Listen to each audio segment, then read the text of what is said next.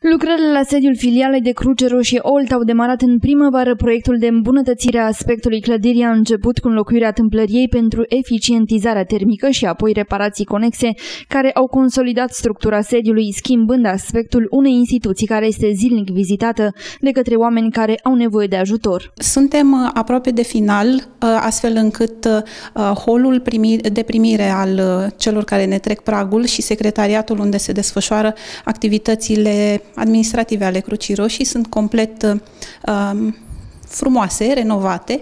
Uh, am avut și surpriza plăcută ca um, sponsorul să ne uh, sprijine și cu înlocuirea mobilierului cu unul uh, mai nou, uh, astfel încât um, într-o casă nouă să, să intrăm efectiv cu, uh, cu obiecte frumoase și uh, să fie plăcut uh, și pentru cei care ne, ne vizitează.